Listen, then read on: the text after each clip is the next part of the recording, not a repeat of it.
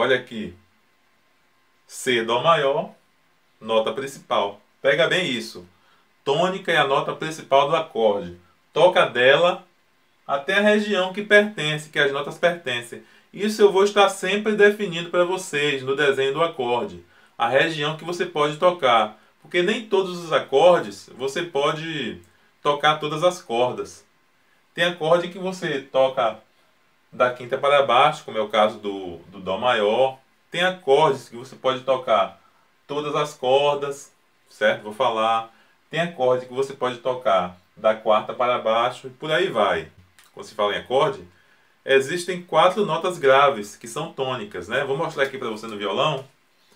Só para a gente finalizar, é, você pode ver aqui, você tem quatro cordas tônicas, que é o seguinte, que a quarta corda aqui, ó, que ela é uma tônica, né? Ela pode ser uma tônica, quer dizer, dependendo do acorde, porque ela é grave, né? Você tem três cordas graves, que são os bordões, chamados bordões, que é a quarta, quinta e sexta. No caso, solta é quarta corda Ré, quinta corda Lá, sexta corda Mi. São os bordões, cordas mais graves. Então a tônica pode ser uma dessas cordas mais graves. Pode ser a quarta, a quinta ou a sexta. Então fica bem claro isso, você perceber aqui que são as cordas mais graves. A terceira corda é mais aguda, né? A, a segunda também, a primeira, a segunda e a terceira são cordas mais agudas.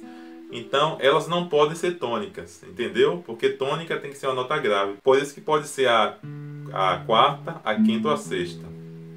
Tá bom? E aí eu vou formar isso aqui para você agora, rapidinho, mas eu vou explicar isso na próxima aula detalhado, certo? Vou formar aqui, isso aqui, vai ficar assim, ó. Aqui eu estou posicionando os dedos aqui conforme o acorde. Eu vou explicar sobre esse posicionamento na próxima aula, viu? Aqui é para você ouvir o som, como é que fica. Esse é o acorde chamado Dó maior. É o som do Dó maior. Tá bom? Então, beleza, é isso. Por hoje é só.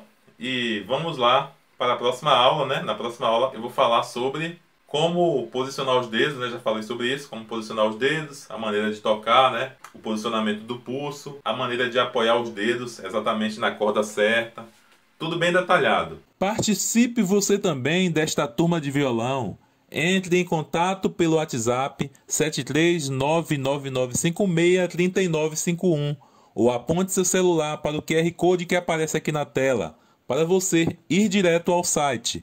Te espero lá do outro lado. Valeu, pessoal. Até mais.